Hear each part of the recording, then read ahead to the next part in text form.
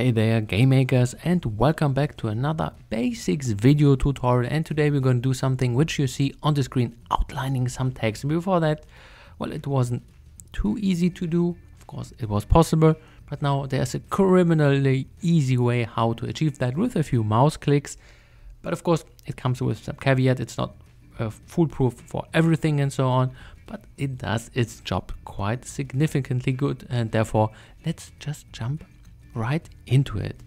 This is One Up Indie. I am a developer, so if you like what you're seeing and hearing, then why not consider sharing, liking, and subscribing to the channel, of course. So the theory and the practice is kind of really, really easy. So we got our new effects here, and by new, it's not that new anymore. And then we just have outline here.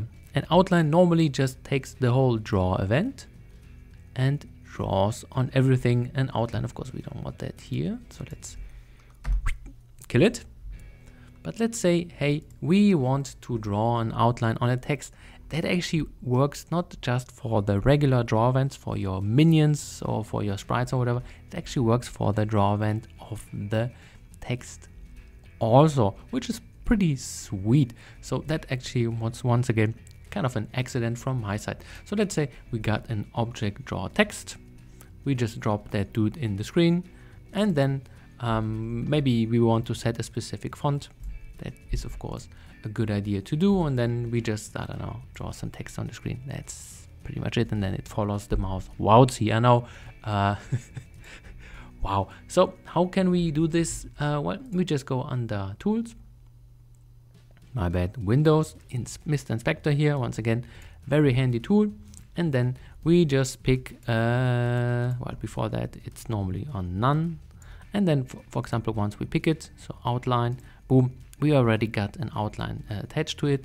And then, well, we just make it a little bit bigger, bigger, bigger, bigger. And then, whoop, set it to black because normally most outlines are black.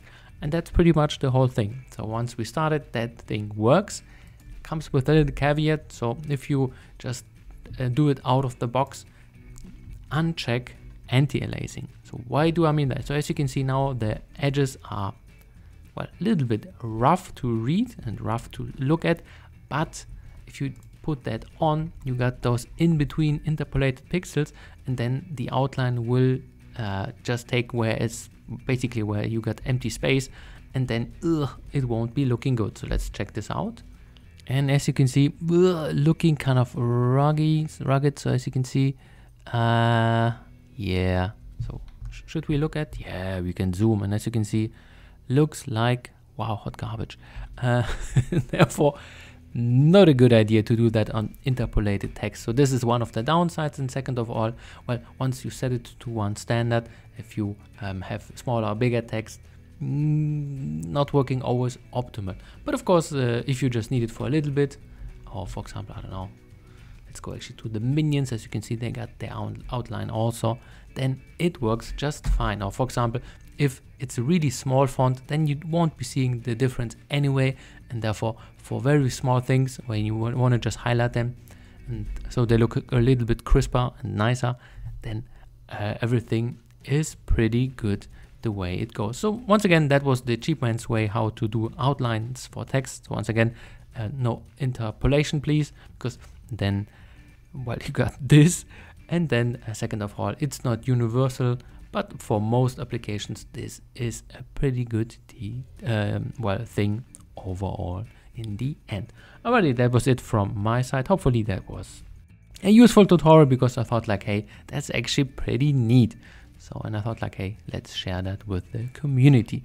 So that was it from my side. Now, really, have a good one. One up indie.